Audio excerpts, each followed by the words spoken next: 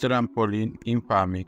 Lo que opine Bogotá no interesa porque Claudia, alcaldesa como Pedro, han descubierto que miles de millones de pesos sí pueden lavar cualquier pasado.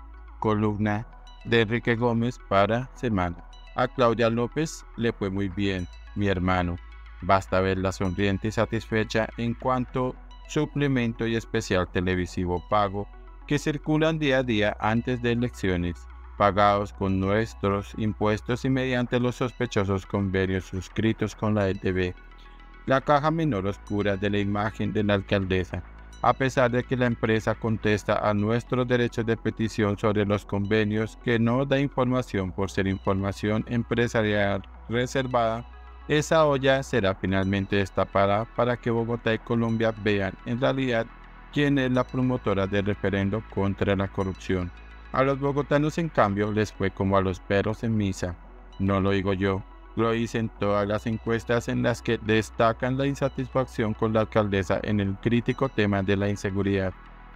Para junio, según Inbamer, el 88%, 88% de los ciudadanos se sentía inseguro y muy inseguro. Un tercio de la población se sentía muy inseguro por género, tanto que friega la alcaldesa con el tema. Ojo, el 92% de las mujeres de Bogotá se sentían en julio, según la encuestadora, inseguras o muy inseguras. Pero en general, además, para agosto el 73,5% de los ciudadanos de Bogotá piensa que las cosas están empeorando.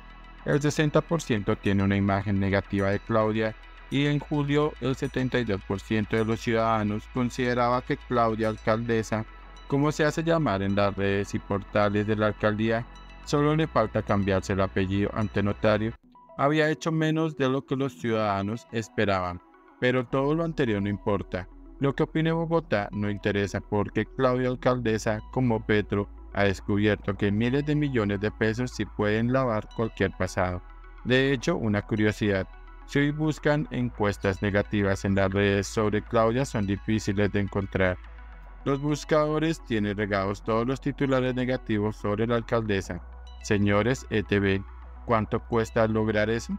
Nada importa porque lo que importa es que la reina de la polisombra logró su trampolín a la presidencia en medio de miles de contratos suspendidos, caducados o inacabados con enormes perjuicios directos e indirectos para la ciudad que no sabían que era difícil hacer andenes en Bogotá, pues sin querer queriendo, como diría el chavo del 8. Pero con nuestros impuestos se comprueba todos los planes de la política colombiana que se devoran nuestra ciudad en el Consejo. Contratos, puestos y gabelas por doquier, ningún partido se salva.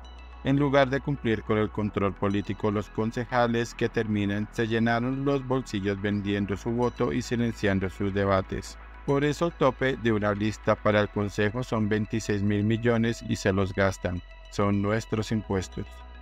Además, Claudia Alcaldesa le ha entregado nóminas paralelas a senadores de todos los partidos y regiones del país. Con ello se asegura que en el nivel nacional nadie se meta con ella.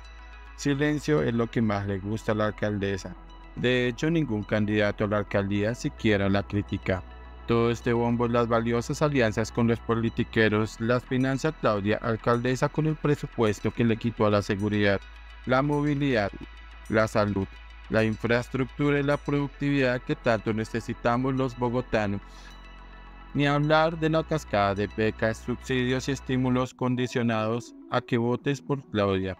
Sin sonrojo y la sonrisa de oreja a oreja, Claudia, en su informe de gestión, reconoce haber entregado ingreso mínimo garantizado a 3,4 millones de personas, alegando que los ha entregado aún después de terminada la pandemia, en una costosa y no auditada carrera de subsidios con la nación en el cual se cumple el adagio de que un subsidio monetario permanente solo demuestra la incapacidad del gobernante para crear empleo y riqueza. Y aún así los bogotanos detestan a su alcaldesa, la carrera de los subsidios solo trae más migración marginal a la ciudad y en nada altera el panorama de pobreza de la ciudad mientras sí le resta competitividad y hace imposible encontrar mano de obra para las industrias de la ciudad que aún sobreviven. La izquierda ama Bogotá, es su trampolín para conquistar la presidencia, como lo usó Petro. Si quieres que esto cambie y que nuestras necesidades no queden regaladas por las agendas de los alcaldes presidenciales, hay que votar bien al Consejo donde el control político es tan escaso como un policía en la ciudad. Mi hijo, Nicolás Gómez, con el número uno en la lista de Salvación Nacional y Nueva Fuerza Democrática, el Arco Iris y el Sol, tienen la capacidad y la interesa para que vuelva el control político y fiscal al Consejo, para que nuestra alcaldía no sea más el paraíso de presidenciales y la corrupción.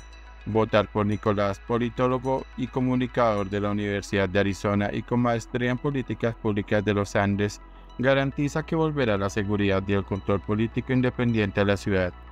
Nicolás Gómez, un hombre que no venderá su voto y que le jalará el mantel a los concejales corruptos, vendidos al alcalde de turno y hará el verdadero control político y fiscal que Bogotá necesita y añora.